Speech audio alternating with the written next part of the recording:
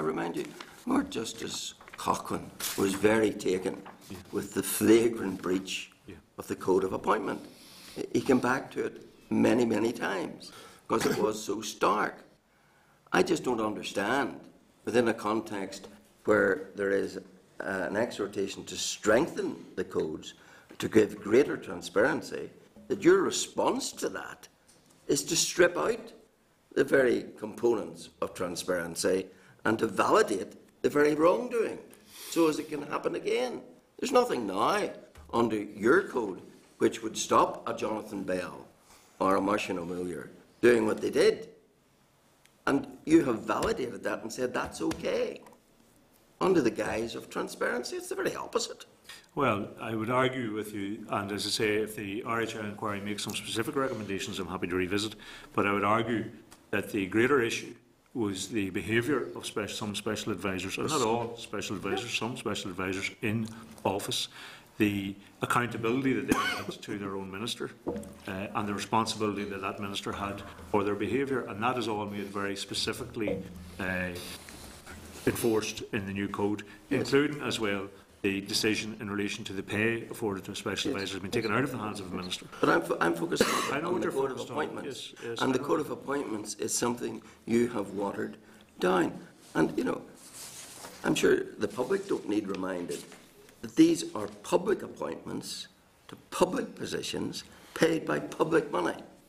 And yet the one post across the public sector that you can be gifted without any record being kept, any process whatsoever being recorded, any consideration of others out of a pool of candidates, the one post in the public sector that you can now be appointed to is a special advisor, courtesy of the weakening that you have delivered on the Code of Appointment.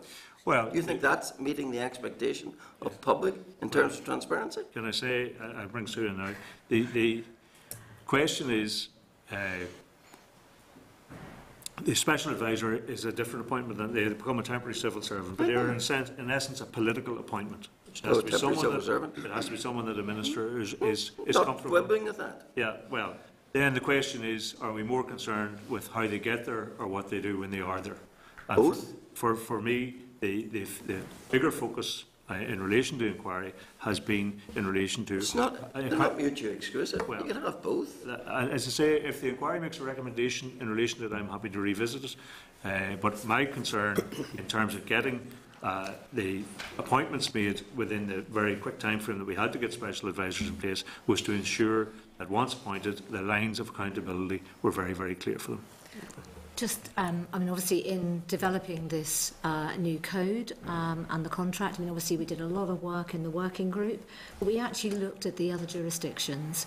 And so a lot of the words that strengthen the code have come from what's in place in the other jurisdictions. In the Sorry, it doesn't strengthen the Code of Appointment. no, no, I know you want to talk about the Code of No, Conduct. no, no, I don't actually. The Code of no, no, no, no, I'm really It happy. it. Well, what I was going to say is that in the other jurisdictions, people, the other, they recognise the relationship between the special advisor and the minister.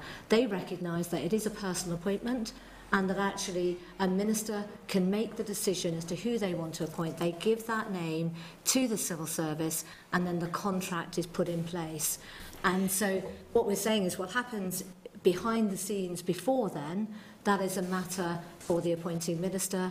It's at the point then they, they provide the name to us and then we go uh, forward. With respect, Ms Gray, other jurisdictions have not had a public inquiry exposing the scandal of special advisors Well, I think in many regards. Well, I can think of, uh, you know, there has been the odd public inquiry that has looked into the activities of special hmm. advisors in, you know, hmm. So, so, so do you dissent from my summation that your answer to the wrongdoing in terms of the use of the old code on appointments was, is now simply to validate that, so as you don't have to submit anything to scrutiny? well, Isn't that a fair summation? we are given, we are given the name of who the minister wants Oh, to appoint. yeah, you're given the name, Yeah, but you don't have to keep what you used to have to keep. A note of why, a note of the process, uh, and the fact that other candidates were considered, like the old uh, scheme had a tick box exercise where the minister had to answer the questions Have I a clear idea of the requirements of the job and the person to do it? Have I created a wide enough candidate field? Have I selected on justifiable grounds from the pool of candidates? Has the character check vetting process been completed? Have I a written record at all stages of the appointment and selection processes? All one might have thought, in the interest of transparency, very fair questions, But but now liquidated, removed. Arguably then,